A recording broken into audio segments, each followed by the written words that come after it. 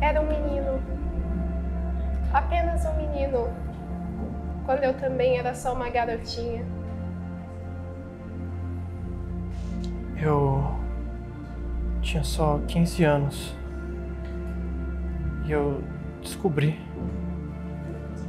uma vontade de viver. O amor. Foi. Foi como se uma luz se acendesse num lugar que sempre estivesse meio apagado. Como se eu tivesse descoberto o mundo.